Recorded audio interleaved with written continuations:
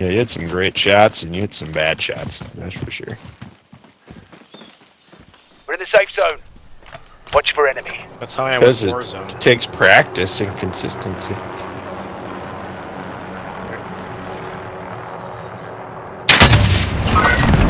Nice Oh, shot. nice. You hit him. You didn't even blow up the helicopter. You hit him out of it. You shot it into the helicopter and hit him. Save that.